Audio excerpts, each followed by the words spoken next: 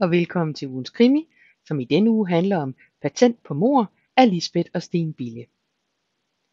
Patent på mor er første bind i serien om Freddy Mandix, en tidligere politibetjent, som nu arbejder for Forskningsministeriet i den nyoprettede enhed Kontoret for Forskning og Sikkerhed, eller som ministeren kalder det, Kontoret for Fusk og Sjusk.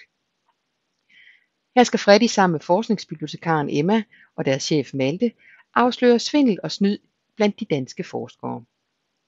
Det er en helt fremmed verden for Freddy, der ærligt talt føler sig som en hund i et spil kejler. Men da en forsker på Panum Instituttet pludselig dør, kort efter at teamet har modtaget en anonym henvendelse om alt for mange døde rotter, så bliver det alvor. Og ikke kun på jobbet, for Freddy har også alvorlige udfordringer i privatlivet.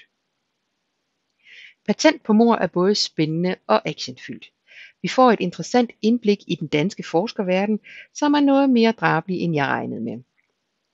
Og så er Freddy Mandik simpelthen en interessant og kompliceret personlighed, som det er spændende at læse om.